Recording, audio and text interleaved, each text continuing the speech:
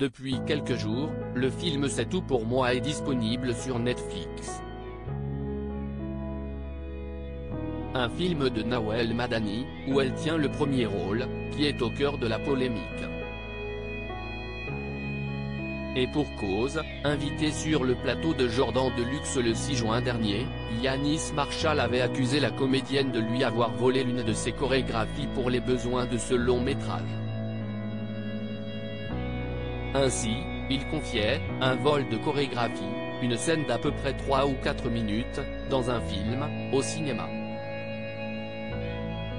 Ma chorégraphie intégralement, que j'avais faite en collaboration avec Aisha Francis aux États-Unis, sur Beyoncé. La même scène, la même musique, la même chose. Je suis crédité dans le film comme chorégraphe. Je n'ai jamais été appelé, je n'ai jamais signé de contrat. Je n'ai jamais gagné un euro. Yanis Marshall face à Jordan Deluxe C8 Nawel Madani sort du silence Nawel Madani ne s'était pas exprimé pour le moment sur ces accusations. Si est désormais chose faite? En effet, la comédienne, qui est également réalisatrice, a décidé d'exercer son droit de réponse. Ainsi, ce mardi 27 juin 2023, avant de débuter son émission, Jordan Deluxe salue un communiqué qui lui a été transmis par la comédienne. L'occasion pour Nawel Madani de revenir sur les accusations du célèbre professeur de la Star Academy, qui a laissé entendre qu'il n'aurait jamais été contacté.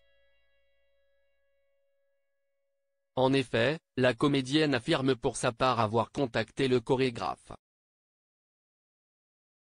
et d'expliquer, cette accusation injustifiée et outrancière est choquante et porte atteinte à ma réputation, ce que je ne peux tolérer, et ce d'autant plus qu'elle ne correspond pas à la réalité. Je souhaite donc préciser que, contrairement à ce que dit Yanis Marshall, il a bien été contacté dans le cadre de l'acquisition des droits de sa chorégraphie et qu'une proposition financière a été formulée par son agent et acceptée par mon producteur de l'époque. L'agent de Yanis Marshall m'a toutefois informé que la production ne lui avait pas payé le montant convenu, je suis intervenu auprès de celle-ci pour qu'il soit rémunéré. La comédienne poursuit, je regrette que Yanis Marshall profère ainsi des accusations erronées par voie de presse malgré les réponses et explications qui lui ont été apportées à plusieurs reprises, notamment par le producteur lui-même, démontrant mon absence de responsabilité dans cette affaire puisque je n'étais pas en charge du paiement de ses dépenses. Une procédure engagée? Alors que Yanis Marshall a assuré à Jordan Deluxe qu'il avait bel et bien l'intention d'attaquer en justice la jeune maman, cette dernière assure qu'aucune procédure n'a été engagée depuis la sortie du film dans les salles, en novembre 2017. Depuis cette date, j'ai fait le nécessaire pour que Yanis Marshall soit rémunéré pour son travail.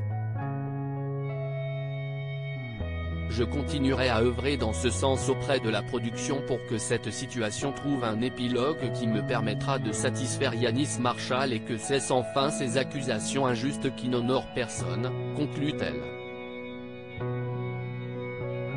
Les deux personnalités finiront-elles par trouver un terrain d'entente?